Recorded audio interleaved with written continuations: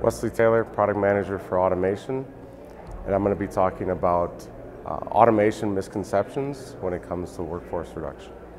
So for a worker, we look at automating of our equipment and part of the process of the mine, but for the worker it actually translates into them skilling into more management of the equipment versus necessarily completing mundane or repeatable tasks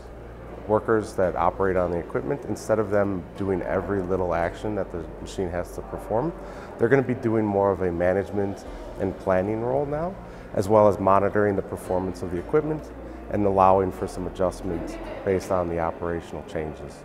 So for you, change management is a very big process for the mine.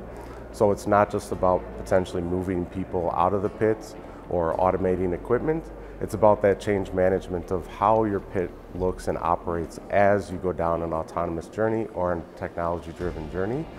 and making sure that we don't have any negative impacts to productivity, reliability, or safety. I like to say data drives decisions. So as we have our equipment broadcasting or, or providing data around KPIs, cycle times, productivity,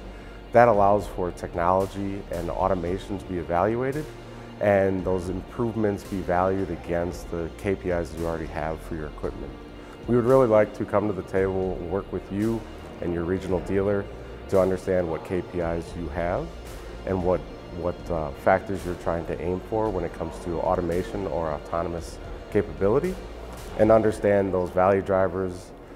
and the risks and walk through that change management process with you collectively and our dealer.